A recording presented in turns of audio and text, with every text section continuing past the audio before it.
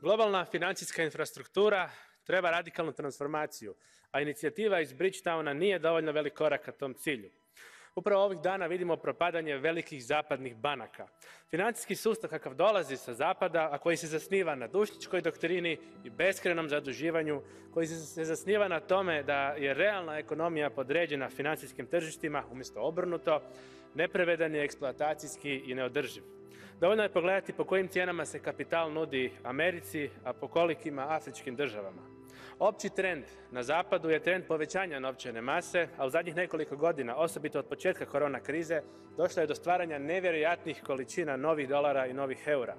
Udio američkog dolara u svjetskoj trgovini, a osobito trgovini naftom, iz godine u godinu opada. Imamo dakle sve više novca, a sve manje onih koji ga žele koristiti i sve manje tržišta koja ga zapravo trebaju. Ako se ta dva trenda nastave i dalje, to nikako ne može dobro završiti niti za dolar, niti za zapad.